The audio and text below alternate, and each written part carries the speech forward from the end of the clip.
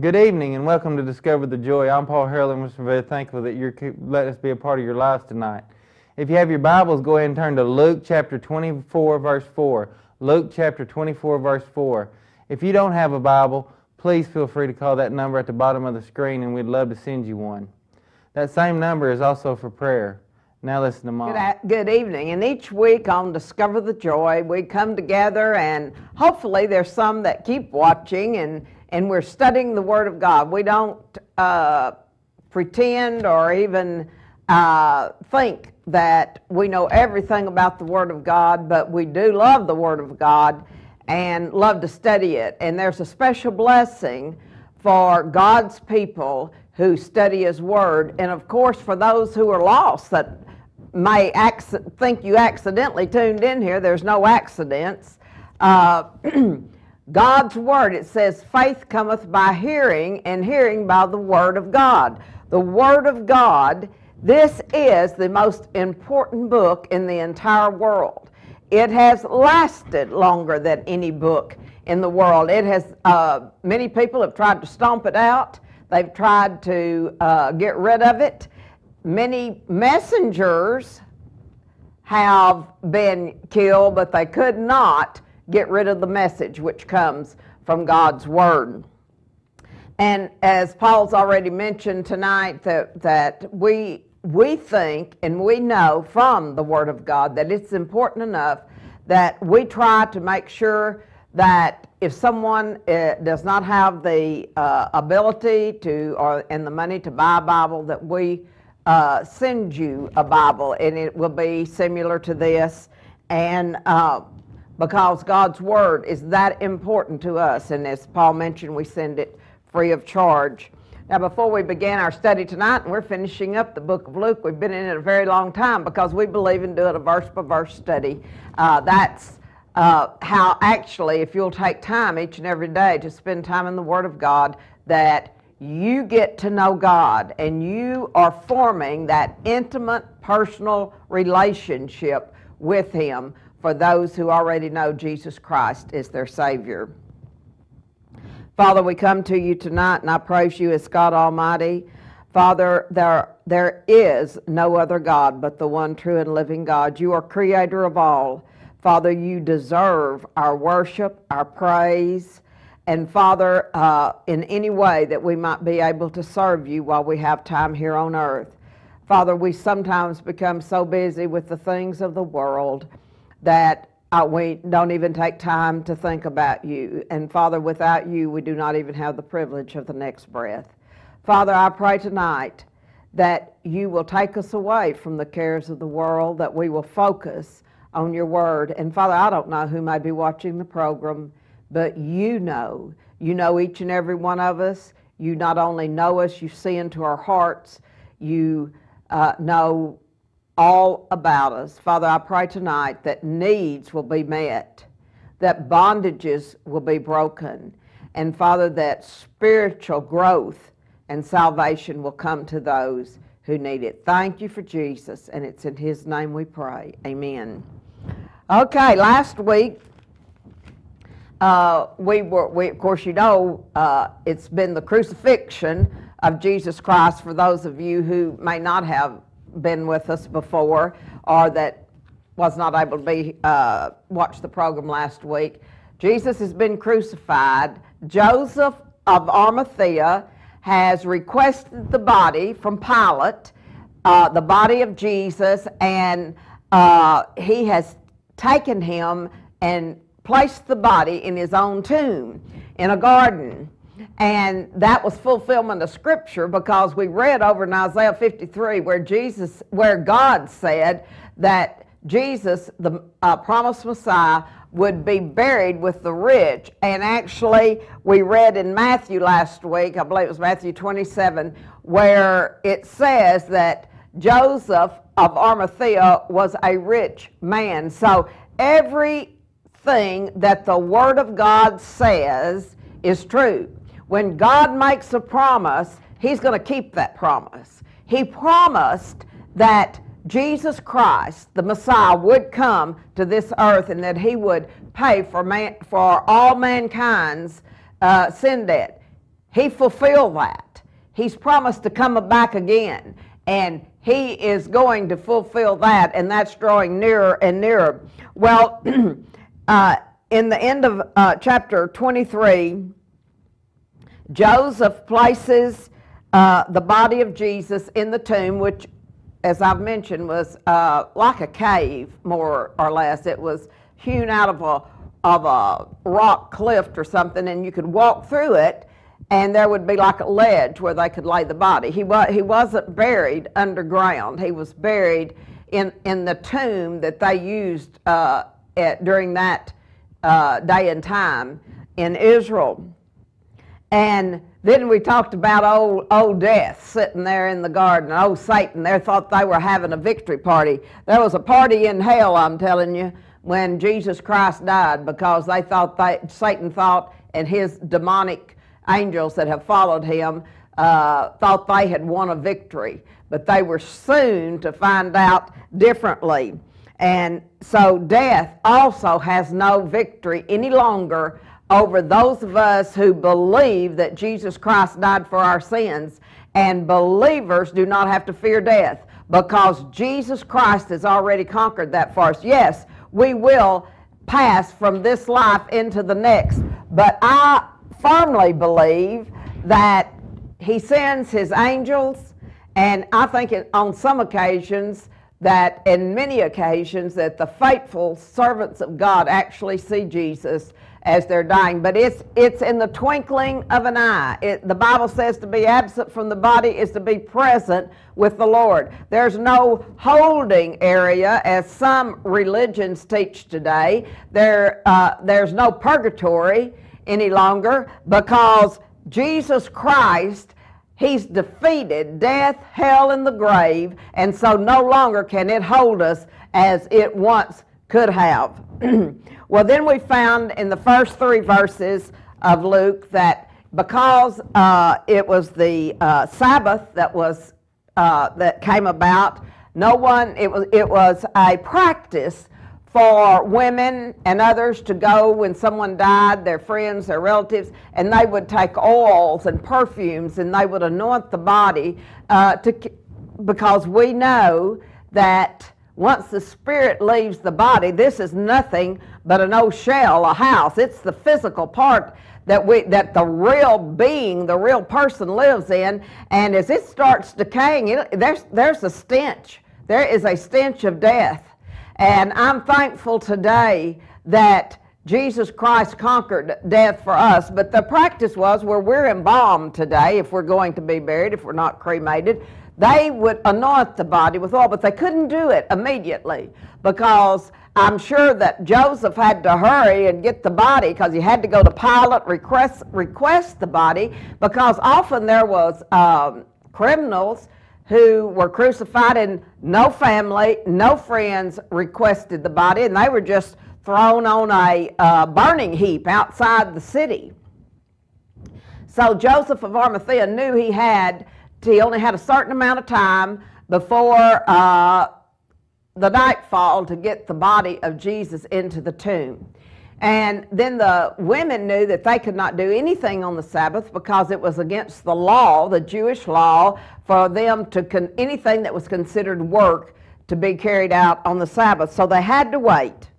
So there came, as I mentioned last week, day one, Satan's having a ball. Day two, death thinks that he's won the victory. Day three comes, but let me tell you, resurrection morning is on its way. And we found that on the first day of the week, very early in the morning, and I'm sure that was at first light, there's these women, and they go to the garden where they, they have watched where Joseph laid the body of Jesus. They loved Jesus. He was their teacher. He, was, he had opened their eyes. He had opened their spiritual eyes and they and we will find out a little bit later on some of the things that he had done for some of these women so they revered him they loved him and they had gone to anoint the body but when they get there, they find that the body of the Lord Jesus is not in the tomb. And of course, their first thought is, oh my goodness, uh, Pilate or some of his officials or either the some of the Jewish leaders that hated Jesus and did not believe that he was the promised uh, Messiah, that they were thinking that he has, they have stolen the body of Jesus. See, they were so fixed upon their own sorrow, upon the death of Jesus, upon wondering what was going to take place yet, uh, next, they had forgotten all about his words and message to them. So in verse 4 of chapter 24 of Luke, it says, While they were wondering about this, wondering what happened to the body of Jesus, suddenly two men in clothes that gleamed like lightning stood beside them. And we finished with this last week. And actually, these were angels, and they had taken on uh, the form of, of a man. But apparently, they were, they, it says, the Bible says, that they were enclosed but they gleamed like lightning. In other words, there was something very mystical and uh, about these two men, these two angels. In fact, the women were frightened, it says in verse 5. They bowed down and their faces to the ground before these two angels.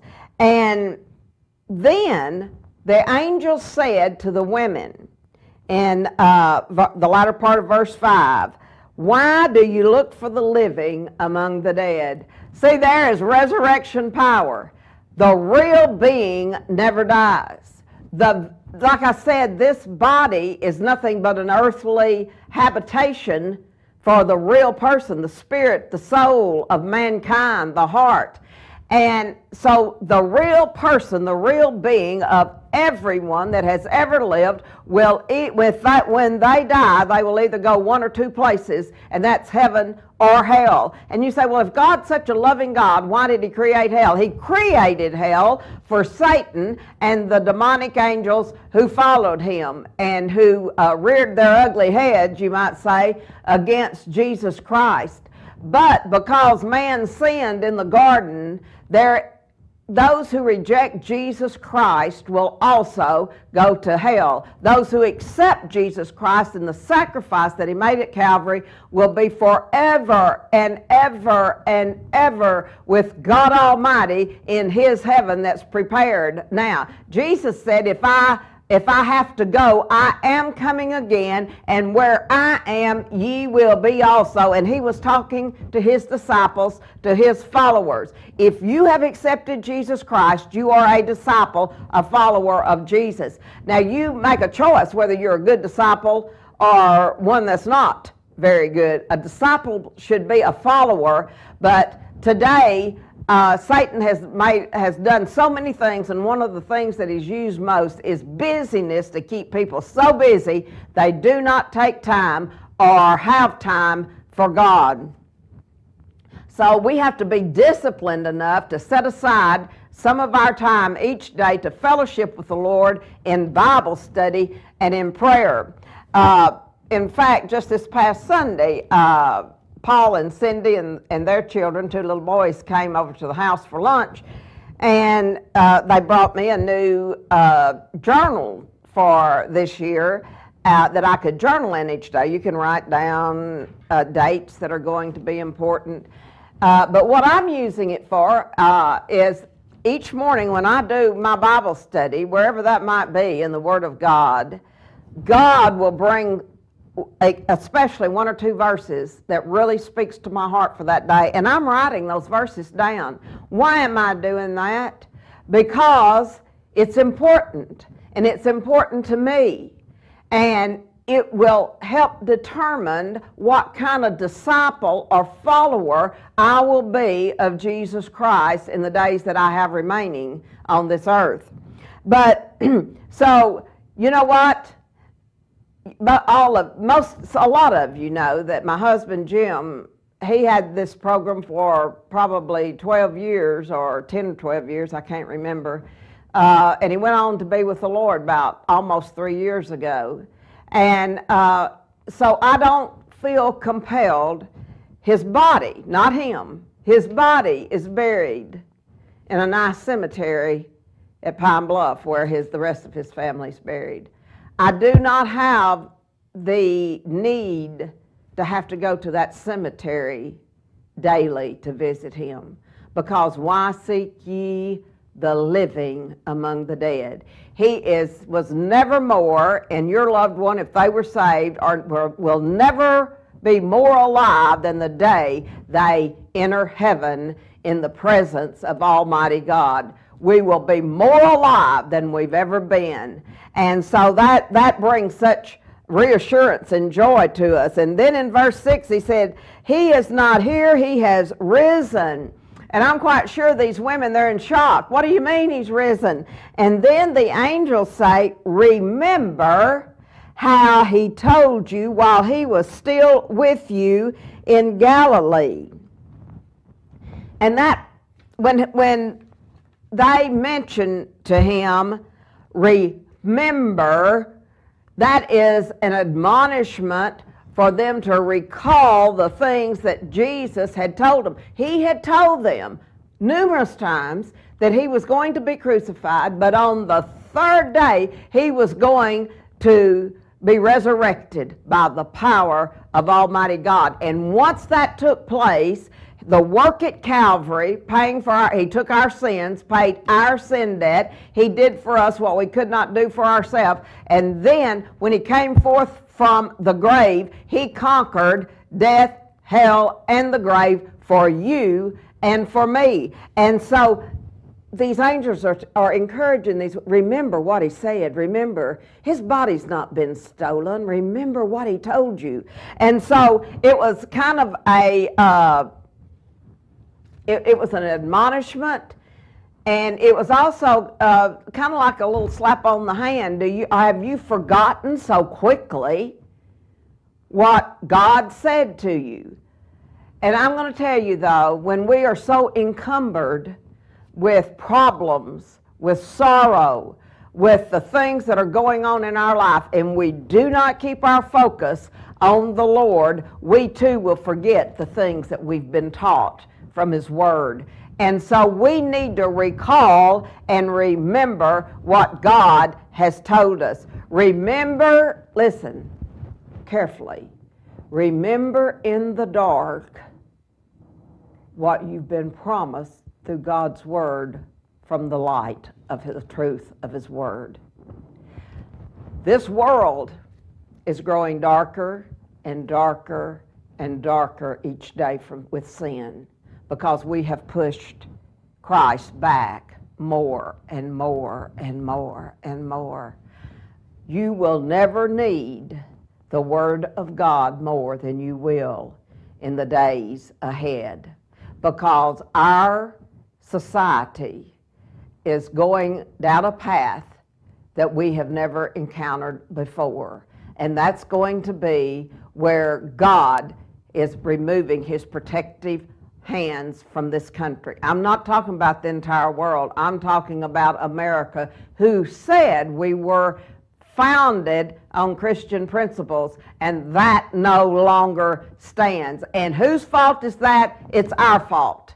That is our fault because we have allowed other groups, other religions to push their way in and push God out and we've stood by and let it happen. I am admonishing you tonight to remember the things that you've heard about Jesus Christ from His Word. It's truth.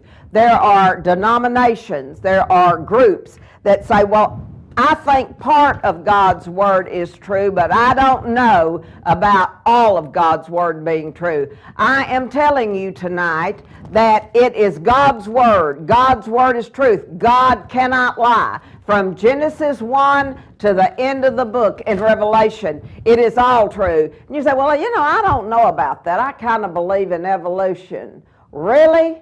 Well, I'm going to tell you what, if you want to think that you evolved from a monkey, you go right ahead. But I know from the book of Psalms that I am wonderfully and majestically created by the God of this universe. He knew me, as the psalmist said, when I was in my mother's womb. He knew that if I was going to have a heart for Him, He knew the day that I accepted Him. And He started molding me and making me and shaping me, and things didn't happen in my life just by just by luck. There is no luck. It's God's either allowed it and filtered it through His hands, or you've been blessed. There, you can get over having luck. You are either blessed or the trials that have come into your life, God's going to take those and use them because we live in a sin fallen world to make you into the image of His Son, Jesus Christ.